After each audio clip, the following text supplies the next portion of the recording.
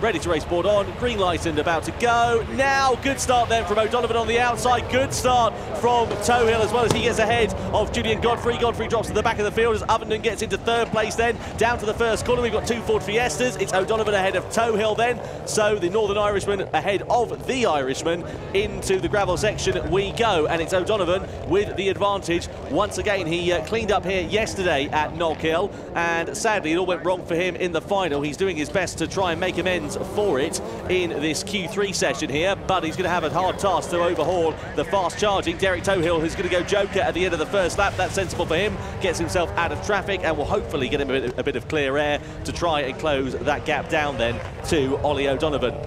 So O'Donovan and Ovenden then continue on their normal lap as Tohill does go joker at the end of the first lap. It looks like Godfrey is uh, up into third place now ahead of Tohill at the checker flag, but I say that, uh, the timing line I should say rather, and uh, you can see there a bollard being kicked up by Tristan Ovenden as he just makes a bit of a hash of that first corner, but it's now, I believe, Tohill up into third place ahead of Julian Godfrey. Uh, that was over the start-finish straight, so that position for third place, it looks like it's changed hands between the top two, but O'Donovan then continues on into the hairpin bend he goes with Ovenden not too far adrift, just eight tenths of a second back, a little bit wide there for Tristan Ovenden into the tri-oval, just kicking up a bit of grass as he comes out of the final corner and over the line once more. We're already on lap three, so the penultimate tour here at uh, Knockhill. Going joker on that lap was Julian Godfrey from third position then, so he gets out of the way of Derek Tohill, slides his way through that chicane and onto the start, finish straight, drops back down to fourth place.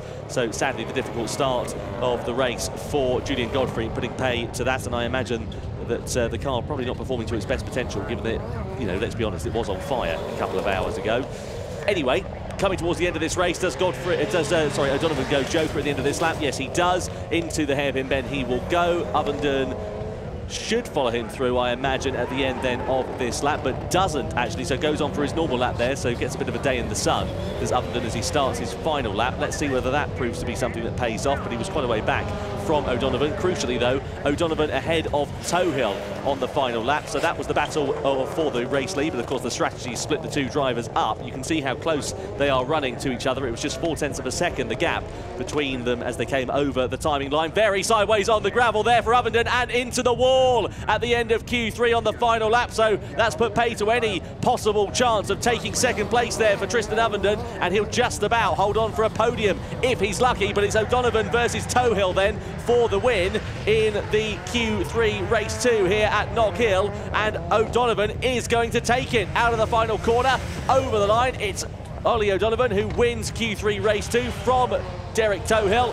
And I wonder who's going to get third place because that uh, spin for Ovenden, costing him time as well as bodywork damage, I think is going to allow Julian Godfrey to inherit third position. Let's see as he comes over the line.